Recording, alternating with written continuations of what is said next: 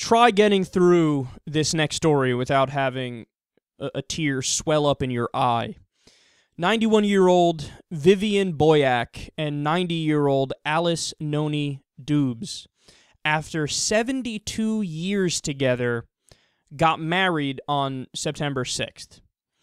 So, a small group of family members and close friends came to the ceremony at Davenport's First Christian Church.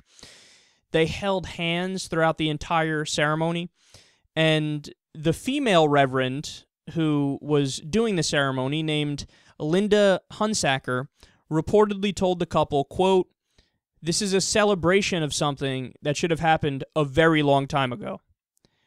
So the best friend of the women said, quote, I've known these two women all my life, and I can tell you they are special. This is a very special day for all of us. Now, let me show you the picture of them together at the wedding.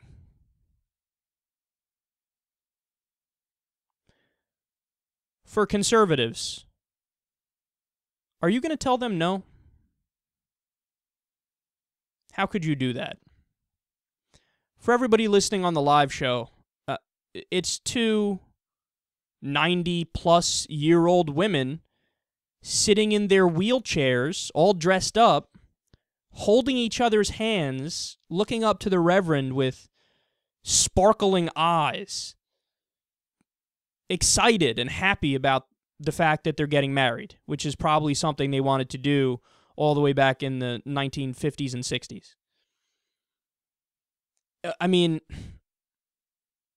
look, I don't think I'm, you know, an emotional guy in the sense that I cry a lot, although I did recently cry when I was given a best man speech at my uh one of my best friends' weddings. So maybe that's not true. But when I see this, I mean, man, it, you know, you know, it's just something boils up inside you and you go, "Holy shit." I cannot believe for the life of me that anybody can be so loathsome where they look at these people and they say, "No, we're not to let you. We're not to let you because it you your beliefs disagree with my religion or my interpretation of my religion and uh, I want to put my ideology on you and force it via law, and I want to take away your happiness because something, God, religion, culture, yada yada. It's like there's no good argument against it. Uh, I mean, when it comes to the issue of gay rights, as I've said time and time again, there are no two sides to it. You see what I'm saying? okay, there are two sides, but one of them is totally not legitimate. One of them is you're a moron who uh, is totally incapable of human emotion and altruism and sympathy and empathy, right?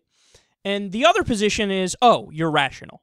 Oh, you think people should be able to do whatever they want to do as long as they're not hurting anybody else and it's consenting adults.